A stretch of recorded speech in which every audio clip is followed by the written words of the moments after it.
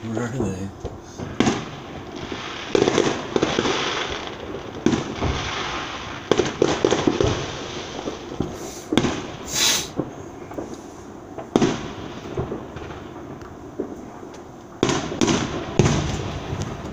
Are they in the parking lot or where?